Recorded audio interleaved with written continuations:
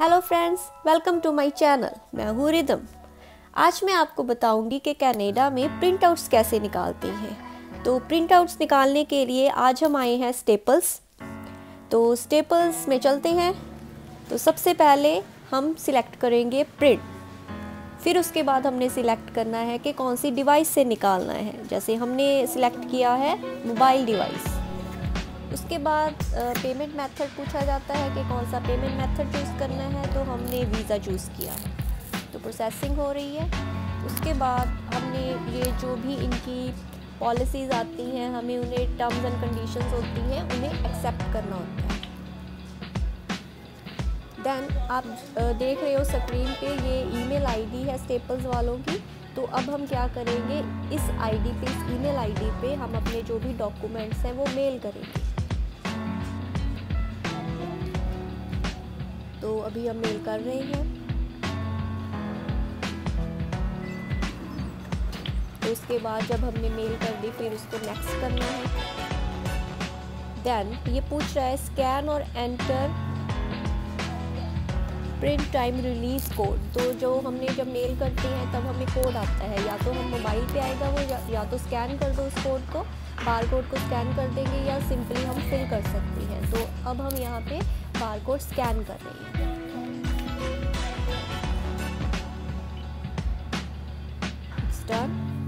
Now जो हमने भी डॉक्यूमेंट्स भेजे हैं, वो हमें इस पर शो हो रहे हैं तो हम वन बाय वन वो सिलेक्ट करके प्रिंट आउट्स निकलवा लेंगे। ये प्रीव्यू दिखाएगा कि किस तरह का डॉक्यूमेंट है। तो आपने यहाँ पे क्या करना है कलर भी सिलेक्ट कर लेना है ब्लैक एंड वाइट कर लेना है, कितनी कॉपीज आपको चाहिए, वो सारा आपने सिलेक्ट कर देना है देन नेक्स्ट और ये आ गया कि कितना, कितनी मनी आपकी डिडक्ट हुई है। तो प्रिंटर पे डॉक्यूमेंट चला गया। इसके बाद ये भी आता है कि आपकी प्रिंटिंग अगर डन हो गया तो आप डन सेलेक्ट कर लोगे। ऑप्शन अगर नहीं हुई है तो दोबारा से प्रिंटिंग कर तो सेम वे से ही हमने सिलेक्ट किया कौन सा डॉक्यूमेंट प्रिंट करवाना है कलर कित कलर कौन सा चाहिए, उसका और कितनी कॉपीज़ चाहिए। तो simple next and it's done तो ये देखिए प्रिंटर में से हमारे प्रिंट आउट्स आ गए हैं। तो एक बार चेक करना अच्छा होता है कि हमने जो भी हमें अच्छे से प्रिंट आउट हुई है या नहीं। एंड देन इट्स डन तो है ना इजी ना? वैसे डिफरेंट तो है हमारे इंडिया से कि इंडिया में तो सिंपल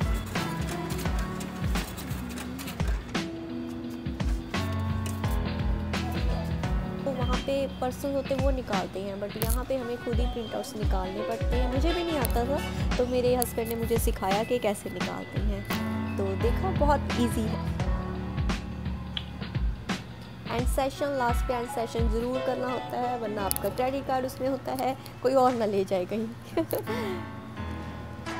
तो रिसीट के लिए प्रिंट रिसीट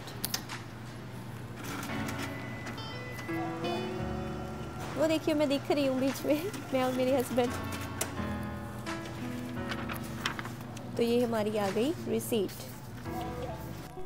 तो friends please like share and subscribe my channel Rhythm of Canada